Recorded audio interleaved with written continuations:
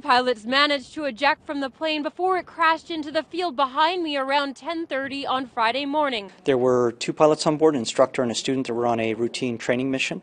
We were alerted of the ejection uh, quite quickly after it occurred, and we launched a ground search party uh, immediately. Both survived with non life threatening injuries, but one was taken away by STARS Air Ambulance to Regina General Hospital, and the other was taken away by ground ambulance. The crash happened about 50 kilometers southwest of Moose Jaw on private property.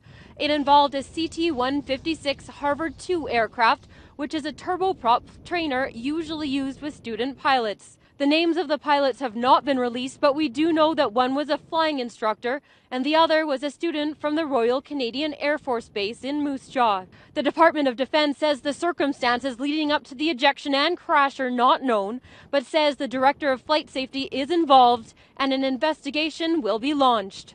I'm very proud of the response. I mean, we, we lost an aircraft today, but the most important part is that we saved two pilots. So we're all very happy in the 50 wing community. I mean, great response from CAE, our contracted partners here with the ground search team. STARS Air Ambulance launched and was there in very little time. Uh, and most of all, of course, the families are grateful that they've got their, uh, their, you know, their, their loved ones back home uh, safely. So it's, it's, uh, it's a sad story to lose an aircraft, but actually you can replace aircraft, people you can't. Flight operations will be shut down pending further investigation. However, there are no normal operations scheduled for this weekend. Jules Knox, Global News.